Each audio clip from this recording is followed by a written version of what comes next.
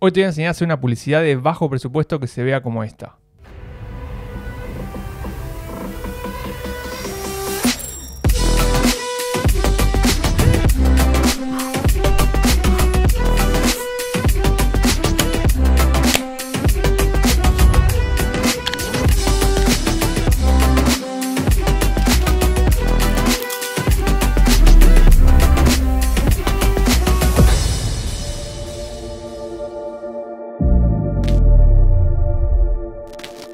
Buenas, ¿cómo estás? Bienvenido al canal, mi nombre es Juan Enzo Cali y si te gustó la publicidad que viste anteriormente y me querés ayudar, puedes comentar o likear este video, también lo puedes compartir y obviamente suscribirte porque eso siempre ayuda un montón. Primero que nada, este video no está sponsoreado por Padme, que es la empresa que me envió estos auriculares para que hagamos en conjunto una publicidad, simplemente ellos me enviaron el producto y yo realicé la publicidad, pero no está sponsoreado por ellos. En este video te voy a enseñar cómo hice la preproducción y la etapa de rodaje, no te voy a mostrar cómo hice toda la postproducción si quieren que haga un video sobre eso, déjenlo abajo en comentarios.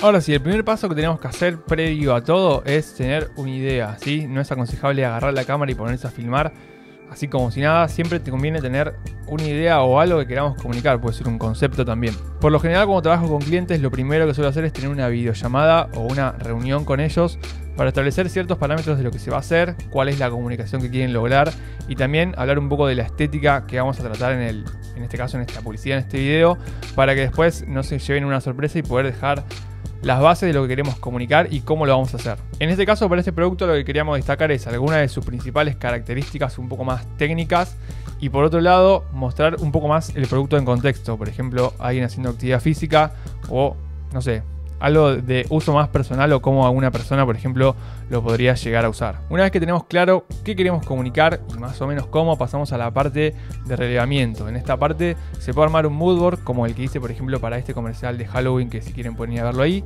O también pueden relevar a través de imágenes o videos. En este caso no hice un moodboard, sino que fui buscando videos y anotando algunas cosas que me parecían que podía llegar a ser útil. Por ejemplo, no sé, ciertas tomas, alguna puesta de luces. Todo lo que yo creía que me podía servir lo iba anotando para después tenerlo ahí siempre como fijo y también tenía los links de los videos que tenía como de referencia. Después vamos a pasar a la etapa de armar o guionar un poco la cosa. Una vez que tenemos ya el relevamiento hecho, lo que hice fue dividir este comercial en tres. Yo sabía que tenía que hacer una parte un poco más tech, o sea, como un poco más dark, oscura, que son las partes donde va a estar como el auricular flotando y más el auricular solo en escena. Y después otras dos caras, que es de una persona, por ejemplo, ejercitando y otra persona eh, en un ambiente un poco más chill, mirando una serie, mirando una película. Y acá quiero hacer una mención especial para mi novia y para mi hermano que se super coparon. Bueno, en realidad a mi hermano un poco que lo obligué a que actuara, pero se super coparon en actuar y poner la cara del otro lado. Generalmente cuando trabajo con clientes suelo contratar actores, se suele contratar actores para hacer alguna publicidad, pero en este caso como era algo de bajo presupuesto, intenté hacerlo con algo más cercano. Y pasemos ahora a la parte de rodaje, que es la que a todo el mundo le gusta. Y para esto, como les comenté, usé tres sets diferentes. Uno para la parte tech, otro para la parte un poco de actividad física o de gimnasio y otra para la parte chill. Empezando por las tomas un poco más dark de los auriculares solos, utilicé un set que lo armé en mi garage, en la cochera, y lo que hice fue poner una mesa, poner dos foamboard, que son estos como cartones negros agarrados, uno abajo y otro como de fondo, de background este, y lo que me hizo eso fue armar como un mini set medio oscuro y utilicé simplemente una luz principal que es la Godox SL90, 60, ya les digo. La SL60 con el Octavox P90L, le ponen nombres muy raros, pero es una nueva luz que tengo y que la verdad que está buenísima, una luz súper suave y la verdad que tiene una temperatura color regular, es desmirizable, está buenísima para hacer este tipo de cosas, es la que estoy usando actualmente acá. Pero se puede usar otro tipo de luz. Antes utilizaba otras luces mucho más caseras, como estos paneles LED que los utilicé para todas las publicidades anteriores, que si no vieron ninguna de esas, se lo dejo acá abajo en comentarios para que lo vayan a ver. Pero se puede usar cualquier tipo de luz soft. Si no tienen esta herramienta, pueden utilizar papel, por ejemplo, manteca o alguna cortina o alguna cortina de baño también, como para que la luz sea un poco más difusa y más suave. Recuerden que por lo general en este tipo de productos se busca que no haya tantas sombras y que la luz no sea tan dura. Por eso tenemos que difuminar la luz con lo que tengamos a mano. Para todo el comercial utilicé solamente una cámara y un lente que es la cámara que uso todo el tiempo, que es la A6500 con el Sigma 183518, son, es mi caballito de batalla, es el que uso para generalmente casi todos los comerciales. Me hubiera gustado tener algún lente macro, pero de nuevo, eran las con lo que tenía a mano. Y para las primeras tomas fueron bastante sencillas, simplemente puse los auriculares en, la tabla negra y fui corriendo la luz de un lado a otro para generar este como pasaje de luz. Para mover eh, los auriculares abiertos o cerrados como girando, no me di mucha rosca con eso, simplemente los puse como en un tarro de vidrio y los fui girando. Después lo cropié un poco en postproducción y quedó, no es la mejor manera ni la más fluida. Se venden en algunos artículos que sirven para rotar los productos, no los tengo. Quizás haga alguna inversión de eso que tampoco son tan caros. Eh, pero bueno, de nuevo, lo hice con, con, un tarro y lo fui girando de manera manual para una toma de creo que un segundo, segundo y medio. Zafó, quedó bastante bien. Pero sin duda las tomas más difíciles fueron las de hacer girar el producto, en este caso eran los auriculares chiquitos. Y utilicé una técnica que ya había utilizado en un comercial anterior, que creo que fue el de Halloween. Y utilicé mi gimbal. Utilicé el gimbal como rotor.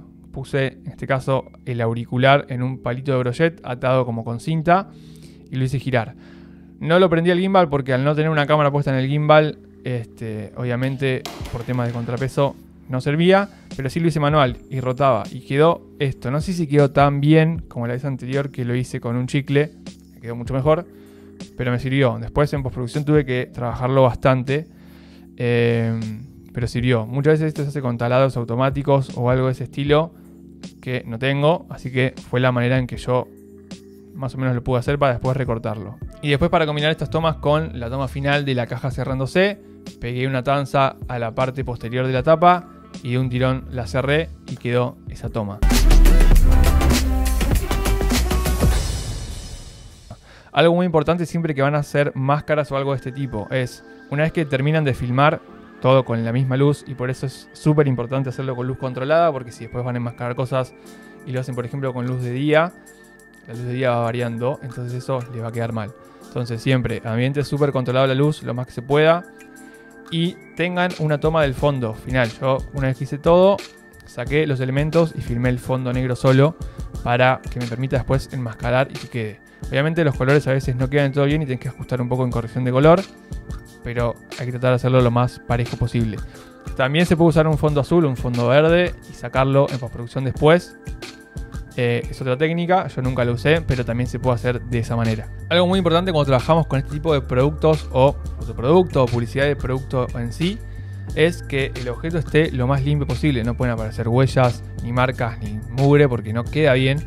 Y en este caso yo lo fui limpiando, obviamente les había pasado como una franela previo, pero lo fui limpiando con un pincel, como cuando vaya un polvo o algo, intenten sacar la mayor parte posible, pero traten de que el producto quede lo más eh, limpio posible. Después pueden arreglar algunas cosas en postproducción, pero le va a llevar un montón de trabajo, así que lo más limpio que lo tengan al principio, mucho mejor. Para la segunda escena, que era la parte de la actividad física, mi idea era recrear un gimnasio.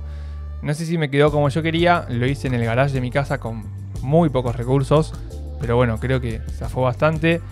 Me prestaba unas pesas. Quiero agradecer a Franco que me prestó las pesas para poder darle un toque más. Este, y de fondo usé estos cuatro tubos LED, eh, que fue un invento de Mati, que les dejo el Instagram acá abajo para que vayan a ver todo lo que hace y lo que construye, porque la verdad que la tiene súper clara con cosas de iluminación. Estos tubos se conectaban a la compu y podés tirarle básicamente lo que quieras, visuales, el color que se te cante.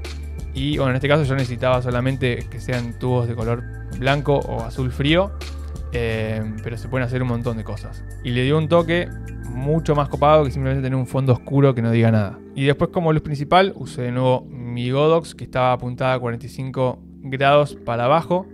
Eh, y las tomas fueron bastante simples, fue simplemente pedirle a mi hermano que haga algunos ejercicios con la pesa, este, donde se destaquen un poco los auriculares, algunas lagartijas, algunos abdominales, y hacer foco generalmente en eso, como en la última toma que después se lo saca y los guarda en la caja. No fueron tomas demasiado difíciles, la verdad fueron bastante sencillas, pero eh, el ambiente que logré recrear en el garage de mi casa estuvo bastante bueno. Me hubiera gustado quizás agregar un poco de haze, o sea, de humo con alguna máquina o alguna luz de contra, pero bueno, creo que por pocos recursos quedó bastante bien.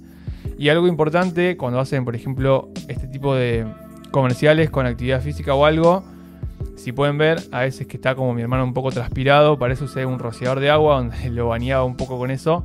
Y de esa manera es como se crea, por ejemplo, la transpiración. Creo que a veces también se puede utilizar algo para que quede un poco más como no tan líquido, que no sé si es glicerina, algo de ese estilo.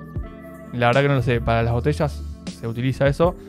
Eh, le da otra textura un poco más eh, como de gota, pero de todas maneras eso funcionó bastante bien. Y después para la última escena donde estaba todo en un mood más chill, donde está el personaje mirando una serie, mirando una película. Fue una apuesta muy sencilla, simplemente usé también de nuevo mi Godox de 45 grados acostado y una luz de fondo que era una lámpara que ya estaba en el living y que daba este entorno un poco más cálido a diferencia de lo frío del gimnasio. Quería hacer como esa eh, oposición de colores. Em, y generó, la apuesta fue bastante sencilla. A veces utilizaba un rebote muy simple de costado, a veces no. Eh, me hubiera gustado de nuevo, quizás tener un contra luz o poner por las ventanas alguna luz de afuera para que dé otro tipo de ambiente. Pero de nuevo con lo mismo, era algo de bajo presupuesto y había que hacerlo con lo que se tenía a mano. En otras publicidades ya había alquilar más cosas y hacerlo de otra manera, pero en esta particular fue de esa forma y creo que el resultado quedó bien. Las tomas de nuevo no fueron nada de otro mundo, fueron tomas bastante sencillas.